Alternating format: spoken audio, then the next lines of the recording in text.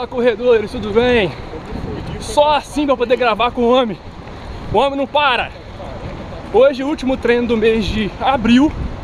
Vamos fazer aquele apanhado do mês. O que foi que a gente fez? Rodamos bastante, mas teve muita variação, né? Teve bastante variação. Até porque você ia fazer a tutã, né? Nem me fale, Então- né, Eu aproveitei para variar um pouquinho mais os seus treinos.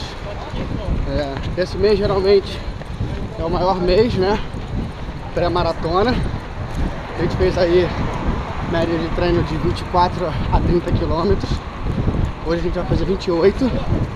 E aí semana que vem é o nosso último longão. A gente vai chegar a 35, Que é o pico, né? que é o pico.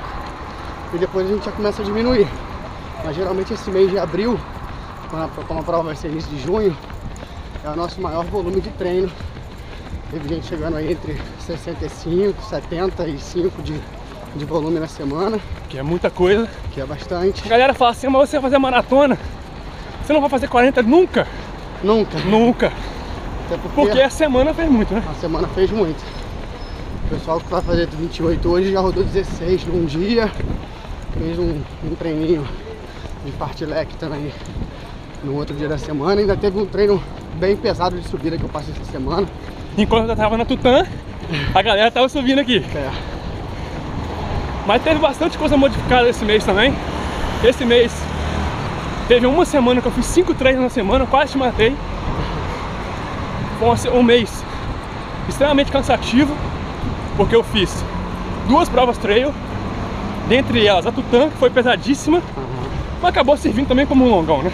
sim, e essa semana eu acabei até diminuindo um pouco o seu volume, porque eu sabia que você ia estar um pouco mais cansado da prova.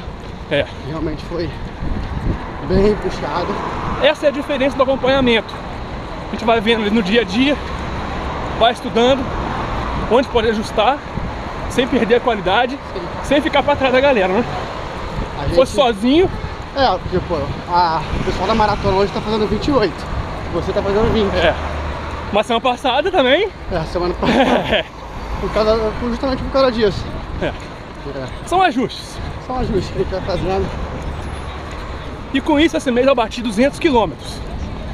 Agora, então, no mês que vem, próxima semana, vou fazer a Wings for Life. Então, eu devo quebrar o treino no sábado e domingo, certo? Certo. Devo fazer o quê? Uns 20 no sábado e uns 15 que eu devo conseguir no domingo, porque largar 8 da manhã, amigo, não vai ser fácil. E o pace do carro é puxado. É. Mas exatamente isso. Pode quebrar treino? Pode, pode quebrar. Não é normal, não é comum. Não, assim, é, eu gosto de fazer, inclusive na preparação, geralmente de maio, depois do nosso treino mais, mais longo aí, que vai ser o 35, eu sempre dou uma quebrada. E principalmente a galera que vai fazer o desafio. Como eu? É. Eu aproveitei em junho, é, desculpa, eu aproveitei em abril. é, e agora esse mês de maio vão ter uns treinos quebrados. A gente diminui um pouco o volume daquele dia, mas compensa fazendo dois dias, basicamente com o volume que faria em um dia só. Acaba funcionando bem também. Todo mundo fica feliz, todo mundo roda, É. ninguém lesiona, que é o mais importante. Sim, Cumpre a planilha e o treinador fica feliz, que é o melhor. isso aí. Então, ó, você está acompanhando os meus treinos. Como é que tá o seu? Já bateu o pico de 35? 34? Vai bater? Agora é hora de começar a descer, né? Começar a se cuidar, se poupar, não adianta fazer um último treino, ah, não, é igual prova. Estudou, já era. É, não adianta querer fazer o volume todo, tipo, uma semana antes da prova, duas semanas antes da prova. Você vai ficar cansado, tá arriscado de chegar na prova com dor, por causa do volume alto, Não vai aguentar. E vai se prejudicar na prova. Aí vai chegar aqui, ó, onde nós estamos, que é em torno do 35, 36 da prova, e vai quebrar. E vai chorar. Uma dica aí pra quem tá com o volume um pouco mais baixo, pega esse, essa semana aí do dia, final de semana do dia 5 e 6, pra tentar fazer o último longão. De verdade. De verdade, saber se tá preparado pra fazer a prova. Roda sem, sem pressa. Sempre acho. Roda 30, 34. Isso, Não esquenta a cabeça com o tempo. O negócio é a distância, certo? certo. Então é isso aí, meus amigos. Qualquer dúvida que vocês tiverem, manda no comentário aí. o Vini responde. Esse foi o review dos treinos da maratona de abril. Vamos agora pro último mês de treinamento. Antes do desafio, antes da maratona da meia. E torcer para dar tudo certinho. Agora vem o Wings, meia do Porto, vem 15 cada New Balance, todas as provas para treinamento de luxo. De luxo.